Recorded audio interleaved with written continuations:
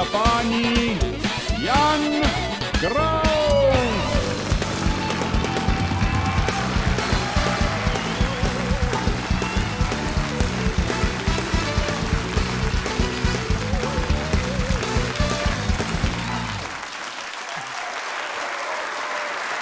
Dobrý večer, děkuju. Děkuju úctivě, dobrý večer, dámy a pánové.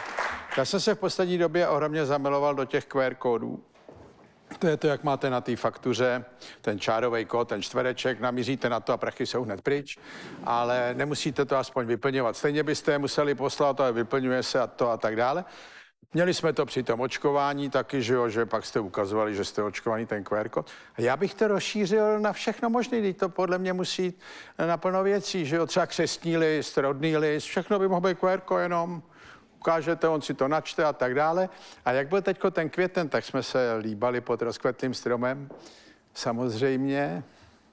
A Teď jsem si uvědomil, že jo, není daleko doba, kdy na to budete muset mít svolení obou. To by se taky dalo dělat QR kódem. Prostě byste si navzájem sejmuli ty QR kódy, že máte oba to povolení a byl by klid a bylo by zajímavé ho udělovat. Měli bychom na to takovou peněženku na QR kódy, tady by byla žena, tady Milenka, prostě všechno, co je potřeba.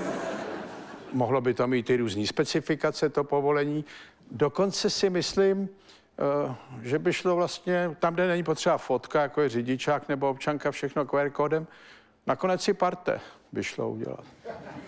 By přišel jenom papír, kódy a na Krauze už neplatí.